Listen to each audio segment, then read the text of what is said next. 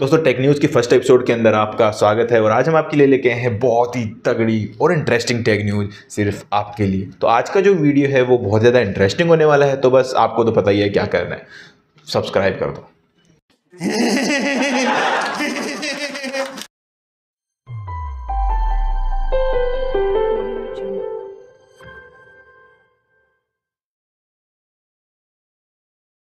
दोस्तों आईफोन 16 जो कि अगले साल तक आ सकता है, बताया जा रहा है कि उसके अंदर जो कैमरा नोच है, वो देखने को नहीं मिलने वाला है। मतलब कि जो कैमरा है और जो फेशियल रिकॉग्निशन है, वो आपको अंडर डिस्प्ले ही देखने को मिलने वाला है।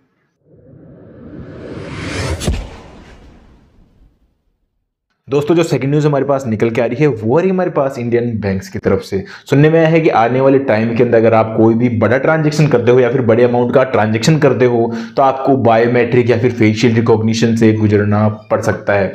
तो फ्यूचर के अंदर आप कोई भी 20-25 लाख का कोई ट्रांजेक्शन करते हो तो आपको इस बायोमेट्रिक या फेशियल रिकॉग्निशन से गुजरना पड़ेगा। हमारी जो गवर्नमेंट है, वो ये स्टार्ट कर रही है ताकि जो ऑनलाइन फ्रॉड्स वगैरह हैं, इनको रोका जा सके। और वैसे देखा जाए तो ये सही है, क्योंकि हमारे देश के अंदर ऑनलाइन फ्रॉड्स हैं, वो बहुत ही ज़्यादा हो रहे हैं। और सुनने में तो ये भी आया है कि कुछ बैंक्स ने ये शुरू भी कर दिया है। वैसे इस चीज़ के बारे में आप क्या सोचते हैं कॉमेंट करके ज़रूर बताना।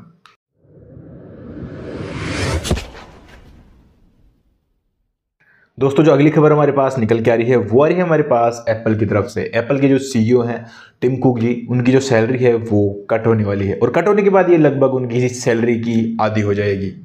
अब उन्हें 49 मिलियन डॉलर्स ही मिलेंगे, जो कि लगभग इंडियन करेंसी में होते हैं 400 करोड़ रुपये only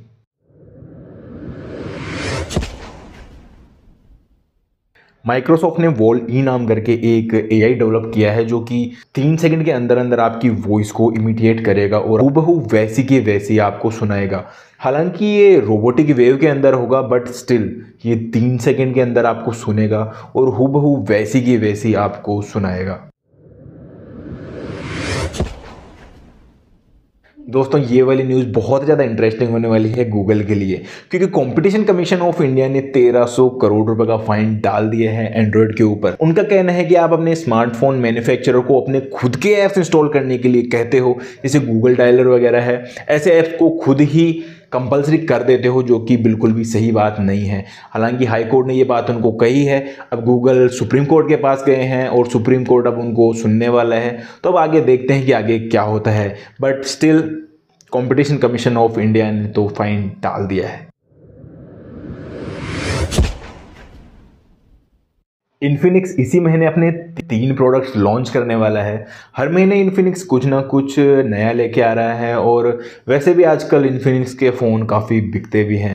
Infinix Zero five G twenty twenty three जिसमें Dimensity one zero eight zero होगा और ये इन्फिनिक्स फाइव जी जो आया था, कुछ वैसा ही होगा। उसके साथ ही इन्फिनिक्स का नोट 12 आई भी आ रहा है, जो कि एक बजट कैटेगरी का स्मार्टफ़ोन है। इसके साथ ही इन्फिनिक्स का ज़ीरो बॉक्स अल्ट्रा उनका एक बहुत ही अच्छा लैपटॉप भी है, वो आपको देखने को मिलेगा। दोस्तों, वैसे पूरा कंफर्म नहीं है बट कुछ सर्टिफिकेशन वेबसाइट्स के ऊपर हमें नथिंग ईयर टू भी देखने को मिला है। नथिंग के फ़ोन साल में एक या ज़्यादा से ज़्यादा दो आ सकते हैं बट इस साल नथिंग का केवल एक ही फ़ोन आएगा। But multiple T W S आने वाले हैं तो नथिंग का फ़ोन सबसे पहले आने वाला है।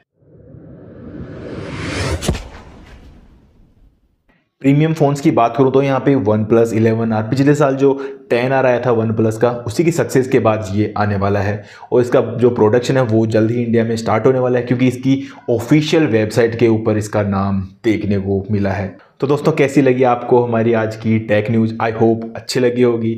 और किसी भी न्यूज़ के रिलेटेड आपका कोई भी क्वेश्चन हो तो आप मुझे कमेंट करके पूछ सकते हैं। और अगर आपको हमारा वीडियो पसंद आया हो तो लाइक कीजिए, अपने सारे दोस्तों में प्लीज़ शेयर कीजिए। और मिलते हैं नेक्स्ट वीडियो में, तब तक के लिए tata bye bye see you again